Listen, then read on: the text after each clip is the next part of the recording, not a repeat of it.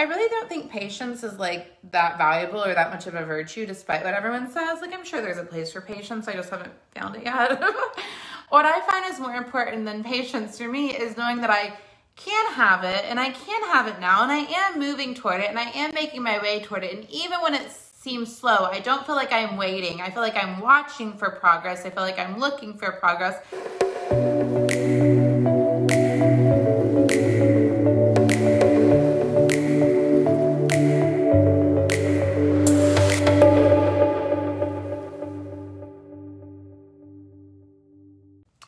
Can you riff on building fame while having a corporate career, building a personal brand? I don't have a strong desire to leave my job, but I want to be more me. Oh, oh, this is great. Yeah, yeah, yeah, yeah, yeah. Okay, so me and one of my girlfriends in corporate America have talked about this a lot over the years.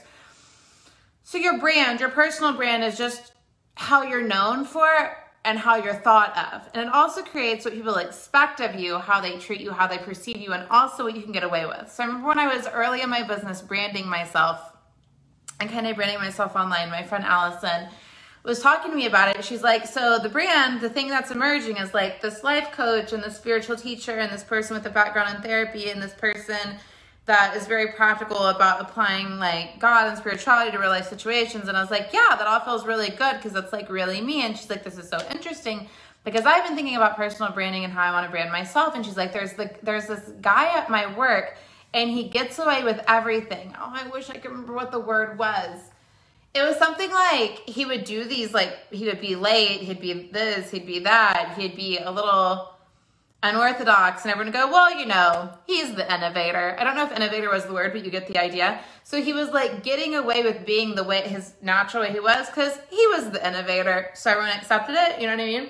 So I think there's something really to that in everything. When like, and this is really what it is more than anything, when you own who you are and you like who you are and you feel good about who you are and how you are, and you're just out in the world doing it, there's a lot more of like, oh, well, you know, that's how she is. And like, and it works for her. As opposed to like, oh, well, you know, that's how she is. Which create is created when we have a lot of guilt and shame around who we are.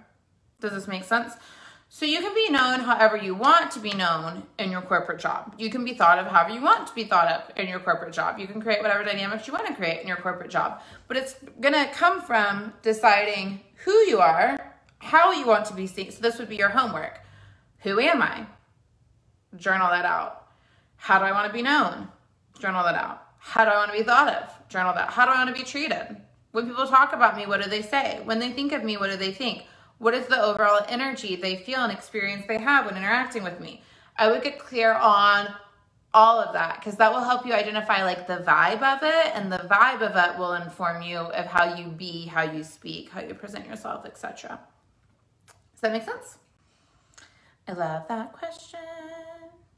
Um, I'm really impatient too. I really don't think patience is like that valuable or that much of a virtue, despite what everyone says. Like, I'm sure there's a place for patience. I just haven't found it yet. what I find is more important than patience for me is knowing that I can have it and I can have it now and I am moving toward it and I am making my way toward it. And even when it seems slow, I don't feel like I'm waiting. I feel like I'm watching for progress. I feel like I'm looking for progress.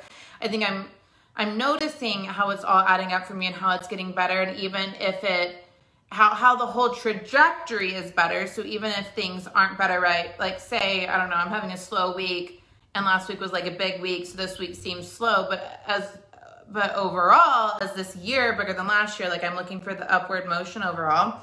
I used this example before, so you may have heard it, but I had a trauma therapist say to me, growth isn't like this, it's like this like it cycles upward, but there's ups and downs in the cycling of going upward. So I guess for me, I don't really value patience. I value more, yes, some things take a period of time on the human plane, on the physical realm. It seems like it's taking time, but in all actuality, I can have it because I can decide to have it. And if, and the world rearranging for me to have what I want. That rearranging may feel like it's taking time, but time isn't actually required. So I don't really value patient. I patience. I more just I'm always looking for the the results and the evidence of what I meant to have coming through. Does that make sense? And as I look for the evidence and I see the evidence and I get excited for the evidence and I believe that it's happening and coming through, I put more focus and faith and attention on that and create more of that. Okay, I love you.